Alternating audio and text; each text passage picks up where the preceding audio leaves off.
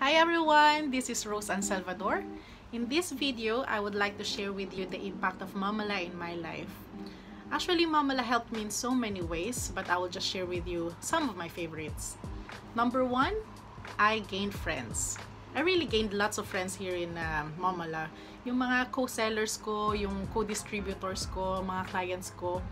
Alam niyo yun, yung ang sarap lang nung pakiramdam na may exchanges of exchange of messages kayo na almost every day may nakakausap ka. Tapos alam niyo yung lagi yung lagi may kausap, lagi kang may nakakausap so yung confidence mo lume-level up gano'n. So yun, isa yun sa mga favorites ko. Number two, Mamala uh, covers my monthly expenses. And then mas na-enjoy ko na ngayon yung yung shopping Baga, I really love uh, buying things for myself, for my daughter, and for my family. Alam niyo yung feeling na hindi ka na kailangan mag-isip palagi ng, ay, mahal. Tapos laging yun, isipin mo, nako, hindi mo siya afford. Of course, practical pa rin tayo, pero mas, kumbaga, mas afford mo na yung mga mga bagay-bagay na dati masyado kang nag-iisip kung bibilhin mo ba or i-save mo na lang. Tapos, ang sarap lang yung feeling na hindi, hindi mo isipin na, ah, baka bukas broke na ako, wala na akong pera.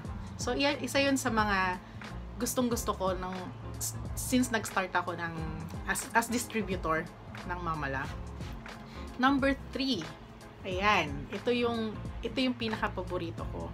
Dahil sa Mamala, dahil nga syempre kino-cover na niya yung mga expenses ko, um, mas nakapag-save ako kasi meron, me and my husband has, uh, we have um, one ultimate goal. And maybe meron naman na kayong idea kung ano yun. Um, gusto kasi namin bumili ng dream house namin.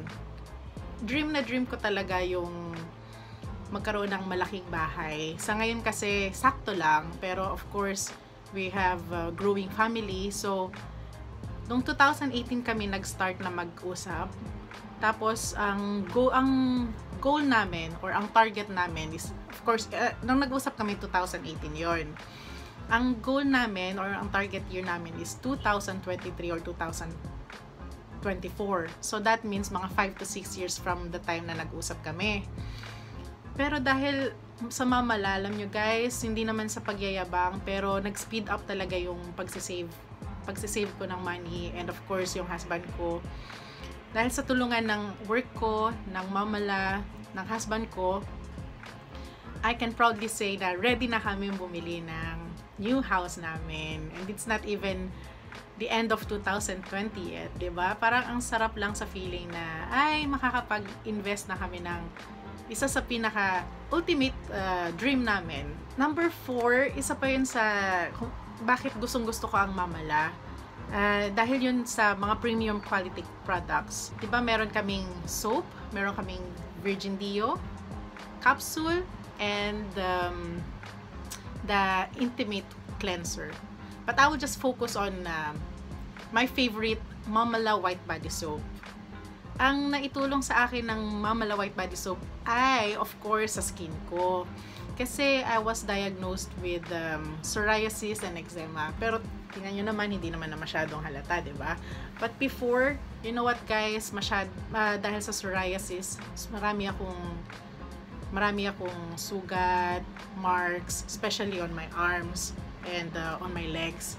Pero dahil sa Mamala White Body Soap, I started uh, using the Mamala White Body Soap on uh, last year, October, when I received my first batch of uh, stocks.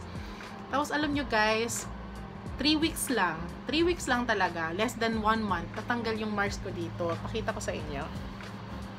Ayan. Dati marami akong sugat dyan, tapos parang, parang, ang iniisip ng iba, ayan o. Ayan. Ang iniisip ng iba, parang, ano yan, pasaba yan, or, ano, or paso. Parang, alam niyo lagi kong itinatago sa sleeves ko dati, yung arms ko, especially sa work kasi yung mga kasamahan ko doon nagtatanong, ano nangyari sa'yo, ganyan. Pero, nung time na yun, 3 weeks lang talaga, alam nyo natanggal talaga yung marks ng mga psoriasis ko dito. And then yung hand ko, ayan. Ayan, nakaka-proud. May pakita sa inyo na hindi na siya yung sugat-sugat na gaya ng dati dahil sa ex-eczema ko.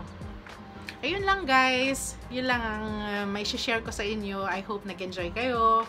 And um, sa sana na-inspire din kayo sa video na ito. Maraming salamat. Bye!